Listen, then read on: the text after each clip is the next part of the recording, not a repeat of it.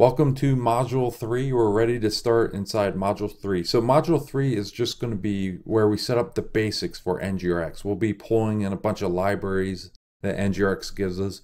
We'll be checking out or creating our first action, reducer, selector. We'll even create our first effect throughout this module. So the section we'll be working inside of, if you go to the green button down here on the bottom right, click on that, we'll be working within the customer support form. Now this form doesn't have any form validation. What we're going to be doing is we'll give errors or success messaging depending on what we send in. So let's open up our debugger tool and we'll go into dev tools and then you see this redux button here. We'll be setting this up throughout this module as well. So let's try submitting this form without adding anything into the form. And here we're getting an error because we didn't add any information to the form. And then if we look at the first action that was dispatched, we'll be setting this up throughout this module, this action here. We look at our customer support feature we have inside the store, and we have no information within our store.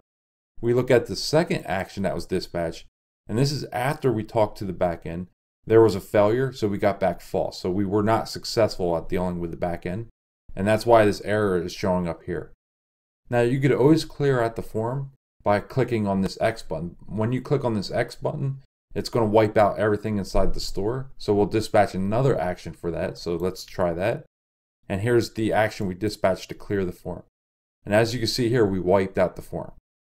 Now let's send in some valid information. So I'll send in a username and it'll be Bob. I'll send that in. We dispatch our first action. We add the user's name to the store. The second action deals with the backend and we were successful, so it's true, and we got a nice success message here. Again, we could always clear it out at any time. So that's what we'll be working on throughout this module. Let's find the commit number for the beginning of this module. If you are following along within the GitHub project and you would like to start at the beginning of module 3, you'll find that at video 7. So if we go to commits, and then we'll have to go all the way back to the beginning all the way back to video 7 begin. That's the commit you're looking for. Let's copy that commit number.